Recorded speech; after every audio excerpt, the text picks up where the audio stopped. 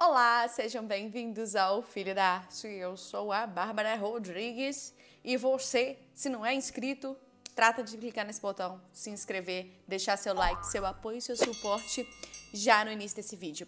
Mostrando aí para vocês que as nossas caixinhas serão feitas com é, pedacinhos de papelão de 11 centímetros por 10,5. Vocês vão cortar quatro pedacinhos de 11 por 10,5, tá bem? E nós vamos ajustar esses pedacinhos uh, com primeiro com a fita crepe, do jeito que vocês estão vendo aí. Vocês vão colocando é, a fita crepe para poder prender. Por que a fita crepe não a cola? Para poder facilitar na hora de você colar e gastar menos cola. Pode comprar uma fita crepe mais barata. Para esse projeto, você não precisa de uma fita crepe tão boa quanto você precisa, por exemplo, no projeto da lareira, tá bem? E essas caixinhas que a gente está fazendo nesse vídeo são as caixinhas onde vão ficar os personagens do Bob Esponja, que eu ensinei cada personagem num vídeo diferente. Então é só você voltar nos vídeos aí que nós temos na playlist. Vou deixar aqui embaixo também a playlist para vocês verem. Tem todos os personagens, tudo bonitinho, tá bem? Não se esquece de me seguir no Instagram, arroba e deixar lá seu apoio, seu carinho, seu suporte e uma fotinha também, caso você faça qualquer um dos meus projetos. Depois de fazer esse quadradinho, juntando esses quatro pedaços, tá vendo? Juntando as, as quatro os quatro papelõezinhos, você vai fazer essa meio que essa caixinha e a gente vai usar um outro papelão maior para poder marcar ele e cortar para poder colocar ali por baixo, para tampar embaixo. Esse papelão de baixo é um papelão bem mais fino, é um papelão bem fininho, e eu decidi cortar depois, eu não fiz um a mais, só para que saísse certinho o tamanho e não desperdiçasse papelão. Então eu utilizei uns pedaços de papelão que eu tinha finos, que eu sabia que para projetos eles não seriam tão bons. Eu utilizei aí para a parte de baixo dessa nossa caixinha. Se você tem uma caixa de leite, se você tem alguma caixinha que já é ali quadradinha, já é ali mais ou menos nesse formato, claro que vai ser muito mais fácil, você vai, não vai precisar de tanto papelão mas isso é para vocês verem que vocês conseguem sim. Tem outros centros de mesa, outras, fo outras, outras fotos, é ótimo, né? Outros vídeos aqui no canal, pode procurar por eles também, caso você queira um centro de mesa diferente. Ele serve também tanto como centro de mesa quanto para decoração da mesa, que foi o que eu usei. Para poder colocar na caixinha, eu estou utilizando o EVA que eu tinha mais aqui da cor, né? Das cores do Bob Esponja, um pouco mais neutras para não tirar tanto a cor dos personagens. Então eu fiz ela em cinza claro e um cinza um pouco mais escuro. Fiz duas no cinza mais claro, duas no cinza mais escuro. Mas você pode escolher a caixinha tanto pela cor do personagem que você vai colocar, quanto você pode escolher essa caixinha numa cor neutra, num branco ou na cor mais utilizada na sua decoração.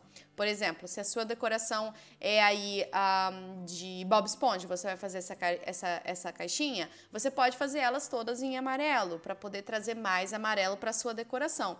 Você pode fazer elas da cor que vocês quiserem. Primeiro eu tô colando a de baixo com a cola quente mesmo, tá bem? Para poder colar melhor ali entre, a, entre o papelão e o EVA. Eu tô passando a cola quente, colocando ali em cima e depois vindo com ela pelas laterais, fazendo o mesmo processo. Eu vou lá e corto mais ou menos na altura, que é a altura da caixinha, passo o papelão ali nas bordas, passo o papelão, passo a cola quente ali nas bordas, seguro um pouquinho para não sair e depois enrolo. Você pode cortar e colar cada lateral sozinha? Pode, pode sim. Mas eu preferi, eu optei por já deixar as outras partes lisas, tá bem?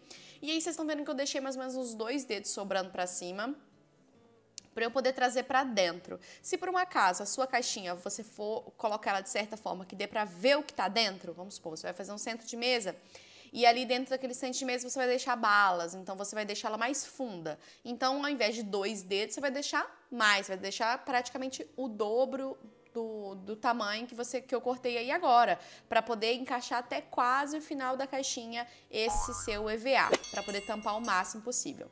Mas como ela, não, ela vai ficar escondida, como vocês vão ver aí lá para frente do vídeo, essa parte de dentro não vai aparecer, essa parte que eu tô colando aí agora. Eu deixei só esses dois dedos mesmo, só para a borda dela ficar com um acabamento melhor. Mas se você for trazer até o fundo, você pode fazer exatamente como eu tô fazendo, porém deixar sobrando mais para você encaixar até mais lá no fundo. Um EVA mais grosso, ele vai fazer com que essa cola quente não apareça, com que essa cola quente não marque, com que não queime, não fique mole demais, tá bem? Mas se você tiver um EVA mais fino, é só tomar cuidado para sua cola não tiver não ficar muito quente, muito quente, tá?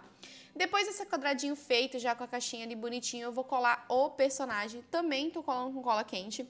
Se você não tiver cola quente nessa etapa, você pode colar com a cola instantânea também, porque a cola instantânea, ela, EVA no EVA, ela é muito boa. Mas eu tô simplesmente colocando. Eu fiz o Gary, Bob Esponja, o Sr. Sirigage, o Patrick. Tem vídeo de todos os personagens com moldes tudo bonitinho, todos eles aqui no canal, tá? Não se esquece de deixar seu apoio, seu suporte, se tornar membro do canal, caso já esteja aí disponível, porque me ajuda muito a manter isso aqui como uma carreira e trazer cada vez coisas novas para vocês, tá bem? E aí vocês estão vendo que o cinza, ele trouxe um destaque muito bom pro bichinho, trouxe pro, pro Gary, pro Bob Esponja, pro Patrick, por isso que eu optei por todos eles serem dessa cor, tá? Aí vocês estão vendo que eu tô medindo esse isopor, esse isopor eu tinha aqui de uma TV, de alguma coisa, acho que eu peguei foi no lixo, se não me engano, mas é isso. Eu peguei, cortei mais ou menos do tamanho da caixinha, cortei esse isoporzinho do tamanho da caixinha e depois eu simplesmente colei ali naquela caixinha o isopor. Por que, que eu tô pegando esse isopor? Porque eu vou enfiar pirulitos, eu vou colocar esses papéis de churrasco, sabe? Papéis de churrasco é maravilhoso. Esses é, é, palitos de churrasco, sabe? Esses palitões assim. com. Vocês viram na foto, né, gente? Pois é. É, é o palitinho de churrasco que, com marshmallow para você enfiar, para você. Fica muito mais fácil você prender no isopor. Por isso eu utilizo o isopor, só passo a cola quente, prendo ali no fundo da caixa. Para dar peso você pode usar tanto britas, pequenas pedrinhas, areia, como eu usei, eu só fui ali na praia, peguei um pouquinho de areia e tô usando um pouco de areia para poder dar, só para dar um peso nessa caixinha, essa caixinha não tombar, para tipo não acontecer nenhum, né, nenhum desastre. Eu tô utilizando é, é, areia dentro de todas as caixinhas, tá bem? Só que se você não tiver areia, pega uma brita, qualquer coisinha que dê peso nela. Aí eu tô pegando um pedaço de. Esse papel, ele é tipo um papel seda. E aí eu tô amassando ele pra ele ficar bem amassado mesmo. Depois eu passo um pouco de cola quente só para ele não sair facilmente, para não soltar ali na hora que alguém for puxar um palito, for puxar, puxa, pichar. for puxar um pirulito, for puxar alguma coisa, só para ele não soltar, só para ele não sair, eu tô ali amassando ele, ajustando e coloquei essa cola quente só para ficar mais fixozinho mesmo e ele ficou assim. Fiz três mais ou menos dessa forma e o outro foi o senhor Sirigate, que eu fiz ele mais baixinho, tá? Eu utilizei um papelão, um papelão, perdão. Nossa, hoje não tá fácil, né? Eu utilizei uma, um isopor mais fininho, em que eu coloquei lá por baixo a minha areia, depois eu coloquei esse papelão, esse papelão, Gente, meu Deus. Eu coloquei esse isopor fininho lá no fundo e já coloquei o, o, o coisinho amarelo. Porque nesse aí eu ia colocar um daqueles, eu vou deixar no final fotinho para vocês verem, um daqueles é, é, docinhos que ficam pendurados para fora, então eu precisava dele um pouco mais fundo, tá vendo?